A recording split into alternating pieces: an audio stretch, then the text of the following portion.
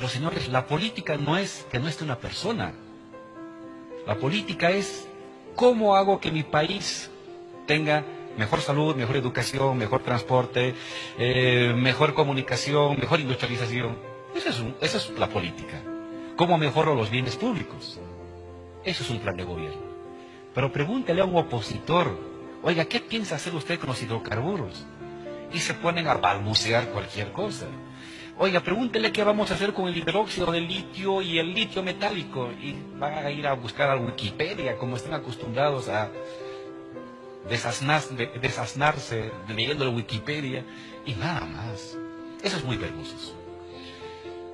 Una verdadera oposición va a surgir, y vuelvo a decirlo acá, cuando surja un proyecto alternativo de país, no un rencor contra una persona. La oposición ahorita es un nido, una cueva de rencor contra Evo. Oyen la palabra Evo y comienza a salirle bilis por los ojos. Eso no es hacer política. Nunca se puede hacer política por rencor, ni por envidia. Se hace política proponiendo algo al país. Y el señor Revilla lo que está develando es esa falla estructural de la oposición. Quieren presentarse ante el electorado con un único plan de gobierno que es fuera Evo. Eso no es un plan de gobierno. Eso es rencor personal. El día en que la oposición, todos los partidos de oposición, comiencen a vislumbrar un otro tipo de país, mejor que el que nosotros vislumbramos, nos van a ganar. A eso es lo que yo le tengo miedo. Algún día que la oposición aparezca en un debate público con proyectos de país fuertes, sustentables, creíbles, viables, y nosotros nos queremos con propuestas congeladas. Ese momento fue el momento del ocaso del más. Pero cuando usted tiene en el escenario un más que tiene un conjunto de planes, la Agenda 2025, industrializar, carretera, salud, muchas cosas pendientes, y una oposición que dice no Evo, no Evo, no Evo y no Evo, está claro que la victoria es nuestra. Claro que la victoria es nuestra. ¿Cómo hemos ganado el 2014? De esa misma manera, con una propuesta de país. ¿Qué se puede mejorar? Toda la vida, una propuesta de país. La oposición era nuevo. Ahora repite el mismo error. Se van a juntar por nuevo. Y como decía muy bien ahí el señor Revilla, no basta sumar las oposiciones para tener una propuesta.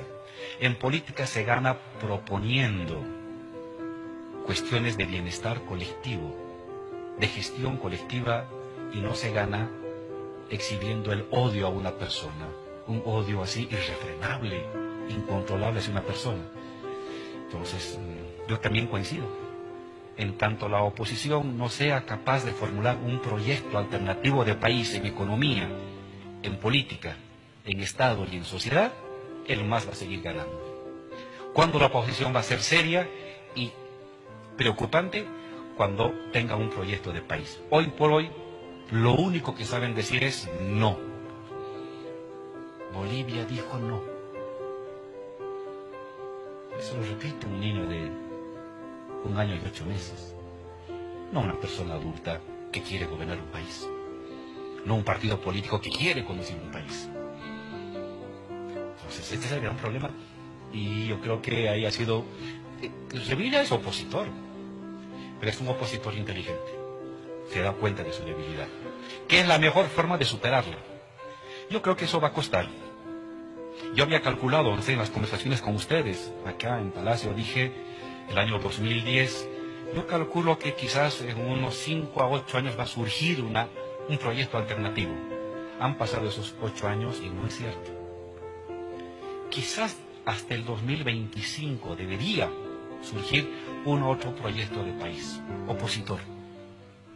Pero hoy por hoy, en estas semanas, en estos meses, en este par de años, no va a surgir. Y encima se siguen revolcando en su odio. Usted se fija, es un odio terrible.